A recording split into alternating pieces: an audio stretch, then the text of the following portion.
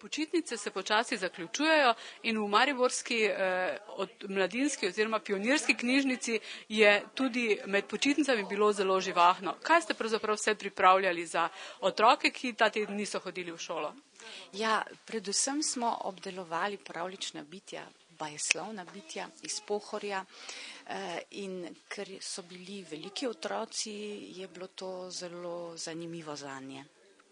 Je bilo veliko zanimanja? E, bom rekla, da je, da je bilo zanimanje, zato ker pravzaprav je pri nas tako, da je pot, tukaj potrebna že vzgoja starša, otroka pripravi na to, da gre v knjižnico, kjer se bodo stvari vrtele okrog knjige in okrog pravljice.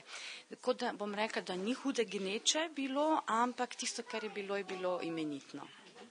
Petek pa je namenjen tistim čisto najmlajšim petek je pa namenjen čisto najmlajšim, ker pravzaprav tudi oni imajo tudi počitnice zaradi starejših bratcev in sestric in potem se nam v petek priključijo večinoma mlajši.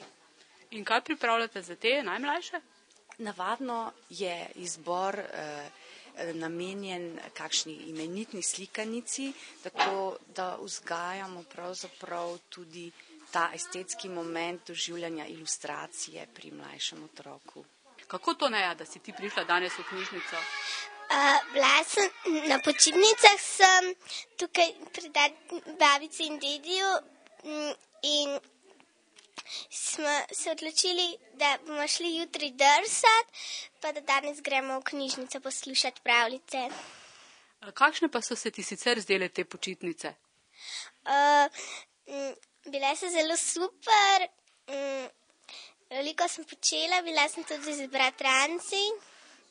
Se ti zdijo počitnice super stvar? Ja. Zakaj? A, ker ni, ni treba v šolo, pa sem prosta nekaj dni.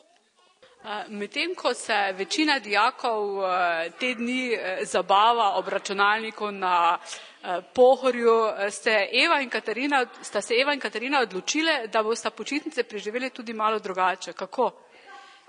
Tukaj v Domu ustvarjalnosti mladih se ukvarjamo z otroci in pripravili smo plesno pevske delavnice. Zakaj ste se za to odločile? Eh, mene veseli delo z otroci, eh, pa tudi eh, v okviru mednarodne mature moramo kot del pridobitve mature izvati socialno delo. Zakaj pa si se ti odločila? Bolj iz nekih lasnih ne vem, nagibov. Prejšnjo počitnico sem vodila likovno delavnico.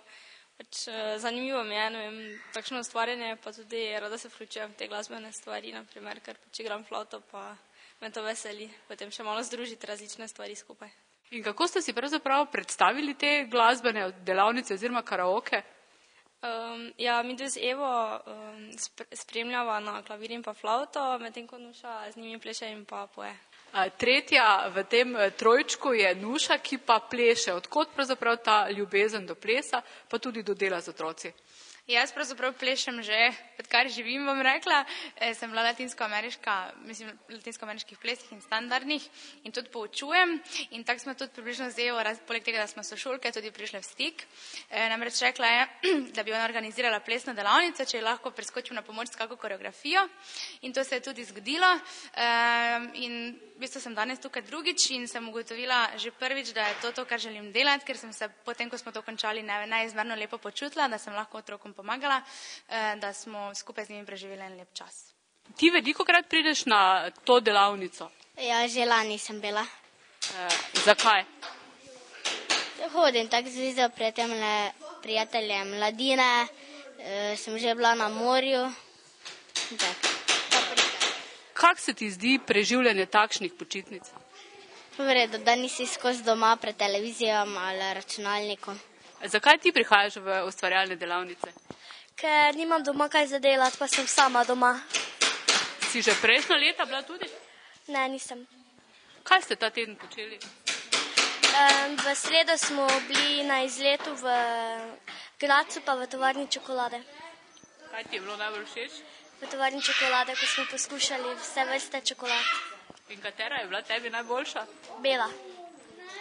Kaj boš pa danes naredila? Tako škatlico, za, da lahko nekaj daš noter. Uh, si letos prvič v delavnicah ali hodiš že več let? Prvi sem. Kdo pa te je povabil? Um, moja mama me je peljala Uh, si tudi ti ves teden prihajala ali samo danes? samo danes. Pa ti je žal, da nisi čez teden prihajala? Ja, Zakaj? ker mi je danes zelo lepo. Kaj delaš?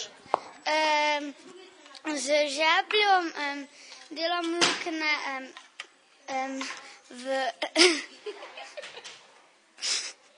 No, kaj bo iz tega nastalo? um, snežak. Kje si se to naučil? Um, ne vem, Zakaj pa prihajaš na osvajalne delavnice? ker doma nimam nič za delati. Kako pa si pravzaprav izvedel za te delavnice? Ne vem, Kdo te je pripeljal? um, mama.